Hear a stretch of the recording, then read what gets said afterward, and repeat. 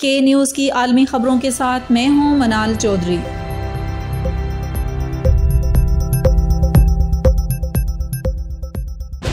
Iran और आलमी कुतों के माबेन मुजाकर में गैर ज़रूरी वक्फा। ईरान और आलमी कुतों के माबेन बयाना में जारी मुजाकर तातुल का शिकार हो गए हैं। ईरानी मुजाकर का मशावरत के लिए जुम्मे की शब तेहरान रवाना हो गए, जिस पर यूरोपीय सफारतकारों ने नाराज़गी का इजहार किया और ये भी कहा कि सन दो हज़ार पंद्रह की डील को बचाने के लिए वक्त हाथ से निकलता जा रहा है। तेहरान हुकूमत के मुजाकर कारों ने चंद नए मुतालबात सामने रखे हैं, जिन पर अमरीकी और यूरोपीय सफारतकार ज़्यादा खुश नहीं। अलबत् बातचीत में तकनीकी सतह पर पेशरफ हुई है। वयाना में बातचीत का ये दौर 29 नवंबर से जारी है।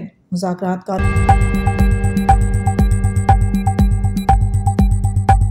रूस और मगरब फिर आमने सामने। रूस ने गैर मामूली तौर पर ऐसे सिफारती दस्तावेजात आम कर दिए, जिनमें इस बात पर ज़ोर दिया गया कि मगरबी दिफाई इतिहाद नेटो मजीद रुकन न बनाए और सबक स्वेत रियासतों और मशरकी यूरोप में अपनी सरगर्मियाँ महदूद रखे। मास्को हुकूमत ने अमरीका और नेटो के साथ मुजाकर का मुतालबा भी किया है।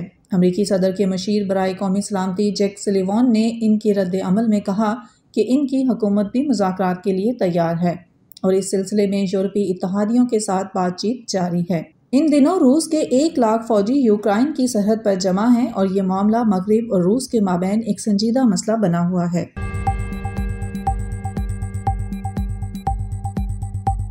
पाकिस्तान में ओ आई सी का इजलास मौजू अफ़गानिस्तान की मदद। पाकिस्तानी दारकूमत में कल इतवार के रोज ऑर्गेनाइजेशन ऑफ़ इस्लामिक कॉरपोरेशन का इजलास हो रहा है। इस इजलास में सत्तावन मुस्लिम ममालिक इस बात का जायजा लेंगे कि अफ़गानिस्तान की किस तरह से मदद की जाए। मेजबान मुल्क पाकिस्तान खत्े के दीगर मुल्कों पर ज़ोर दे रहा है कि अफ़गानिस्तान में तालिबान की अमलदारी में शहरियों को ज़रूरी इमदाद पहुँचाई जाए। पाकिस्तानी वज़ीर खारजा शाह महमूद कुरेशी ने अलबत् वाजे किया कि ओ आई सी के अजलास के इनका का मतलब ये नहीं कि तालिबान को सरकारी तौर पर तस्लीम किया जा रहा है, बल्कि ये सिर्फ़ अफगान अवाम की मदद की कोशिश है। पिछले दिनों कई हलकों में ये बात की जा रही थी कि ओ आई सी को अफ़गानिस्तान के लिए कुछ करना चाहिए।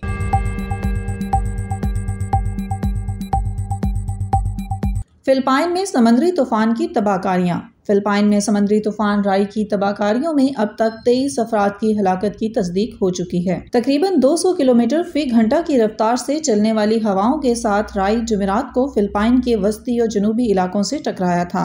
हुकाम ने खबरदार किया है कि मुख्तलिफ़ जजायर पर बे इंतहा तबाही मची है। मुल्क के कई हिस्सों में बिजली की सप्लाई अब भी मअतल है। रेस्क्यू की सरगर्मियों में अठारह हज़ार फौजी शरीक हैं। राई इस साल का सबसे ताकतवर तूफ़ान था। इसराइली शख्स की हलाकत मुलजमान की तलाश जारी। इसराइली फौजियों ने मकबूजा मगरबी किनारे में वसी तर सर्च ऑपरेशन किया है। इल्ज़ाम है कि फ़लस्तीनी दहशत गर्दों ने एक इसराइली शख्स को हलाक और दो दीगर को जख्मी किया है। फौजी तर्जमान ने बताया कि कई मुशतबा अफराद को हिरासत में लिया जा चुका है। ताहम जुमे को मजीद कई मकाम पर छापे मारे गए। हलाक होने वाले इसराइली शख्स की उम्र पच्चीस बरस थी और जुम्मे को इसकी आखिरी रसूमात अदा कर दी गई जुमेरात को इसराइली शहरियों पर हमला और फौज की जवाबी कार्रवाई खत्े में जारी कशीदगी की अक्सी करते हैं।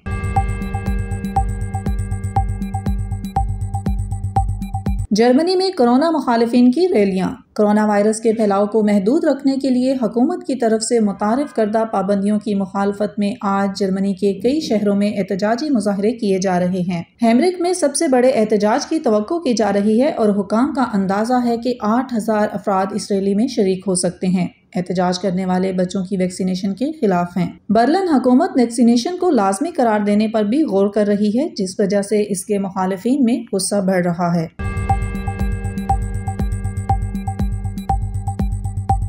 टिकटॉक वीडियोस के सबब अमरीकी school high alert. Social media platform TikTok पर गर्दिश करने वाली चंद वीडियोस के तनाजर में अमेरिका में स्कूलों को हाई अलर्ट कर दिया गया है। टिकटॉक पर चंद ऐसी वीडियोस देखी गई जिनमें स्कूलों पर फायरिंग और हमलों के खतरात का तस्करा किया गया है। इसी तनाजर में मुल्क भर के स्कूलों के गिर्द सिक्योरिटी सख्त कर दी गई है और व्हाइट हाउस ने बयान जारी किया है कि मामला पर निगाह रखी जा रही है। हुकाम ने वाजे किया है कि अभी तक कोई ऐसे शवाहिद नहीं मिले हैं कि मस्कूरा वीडियोस या इनमें बयान करदा इंतबाह हकीकी हैं। अमरीका में स्कूलों पर फायरिंग के वाकत मामूल बन चुके हैं।